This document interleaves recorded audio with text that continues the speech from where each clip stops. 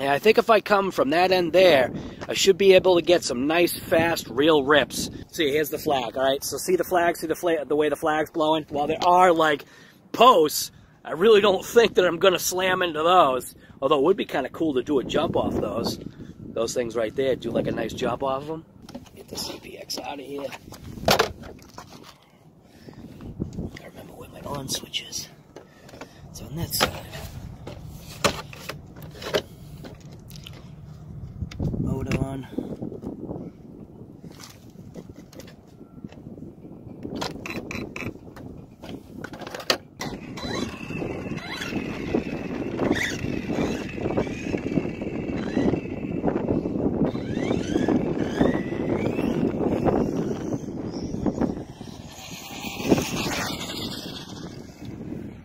Oh, maybe I was wrong that I wouldn't uh, crash.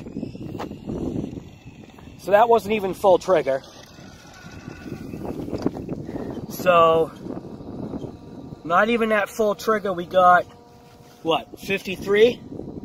So, I'm going to clear that out, record, zeroed out, give it another rip.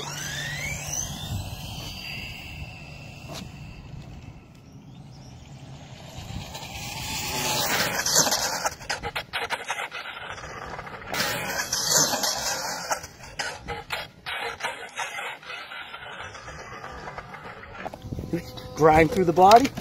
GPS is still on. We ended up with, uh, you see that? 57 miles per hour. So we'll clear that out. And this time I'm actually going to stay down this way. Maybe that will help. Zero it out.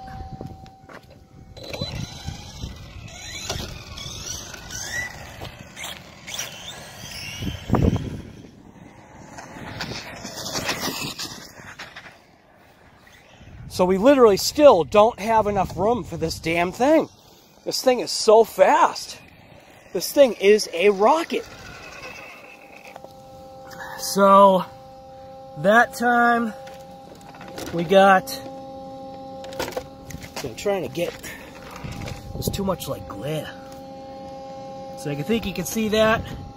We got 65 miles per hour and I still think it has more in it. So I'll clear that out again. We'll give it a rip.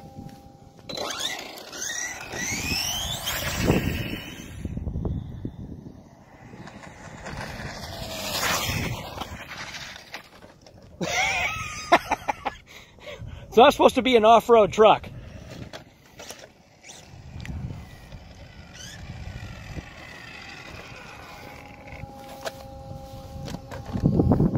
So we only got 62 that time. And I wasn't full trigger, so let's clear it out again.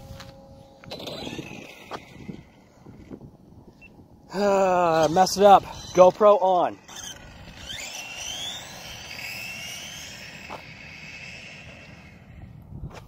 All right, so that's a way out there. So let's see what this thing's got.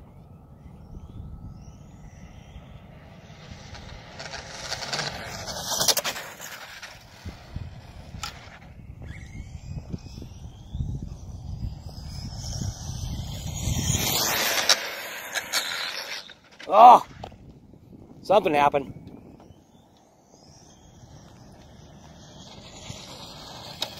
This thing is a ripper.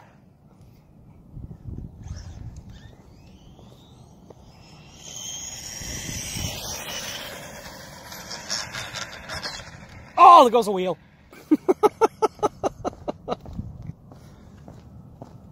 now that I'm over here, it wasn't the wheel, it was the GPS. Oh no! Pieces of GPS everywhere. Oh, the cover. Oh man, boy, that thing went for a tumble. Oh, oh dang it. All right.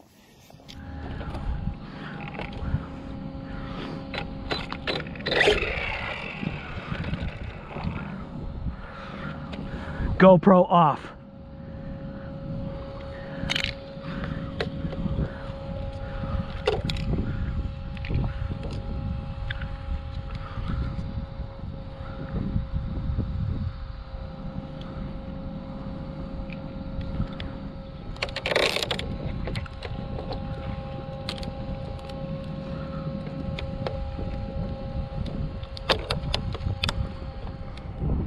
Right, we actually were able to put it back together.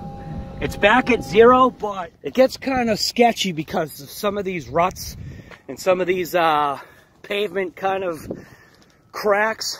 So it's way down there. So let's just give it a rip. Whoa.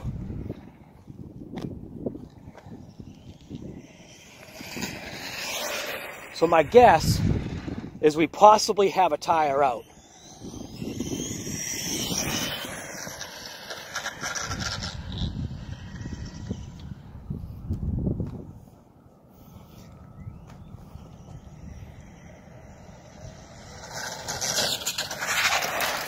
As soon as it hits full throttle, it just loses all control.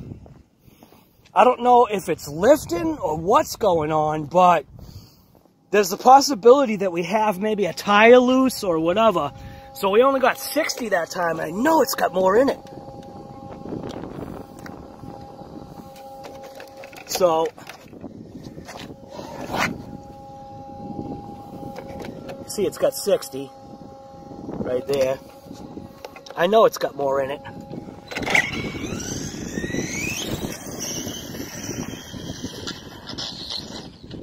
Man.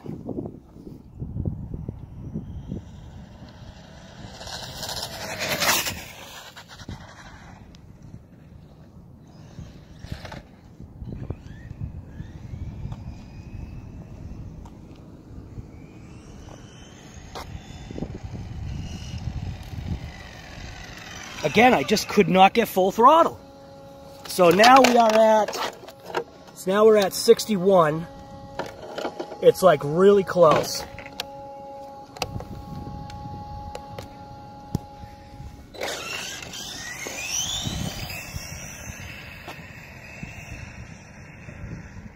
I know I'm ready.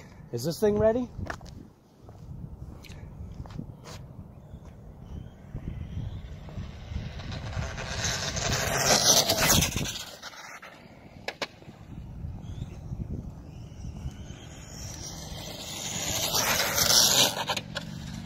Jeez.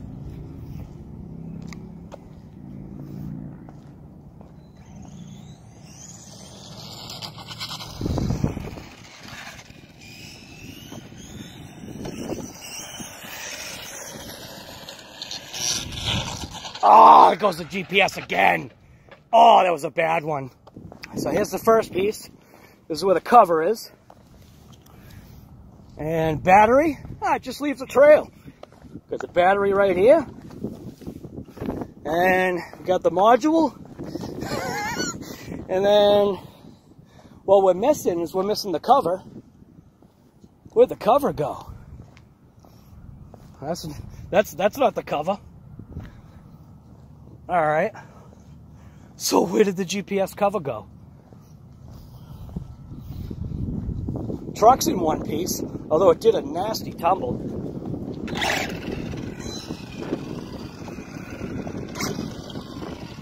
Alright, we gotta find the cover. So here's what's nuts. We just found the cover. It's actually right there. So we crashed. I think it initially crashed like right here, tumbled like way over to there, and we drove it to there. Here's the cover to the GPS. How did it get that far away? Because of the wind. Well, I have no idea what the max speed was. Um, no fault of this thing whatsoever. This thing is actually performing amazingly. We got a rock actually stuck inside. We also, we lost the belt. So one of the things that I'm, I'm suspecting is, I'm wondering if we are getting chassis flex because there is no support going from front to rear diff. So I might have to see if I can figure out figuring out some kind of a support just to kind of make things a little bit more rigid. But 67 miles per hour actually wasn't too bad. Um, I don't know. I mean, you can see the body has got got some damage now. Uh, maybe we're getting, uh, you know what? Actually, we are getting some separation here.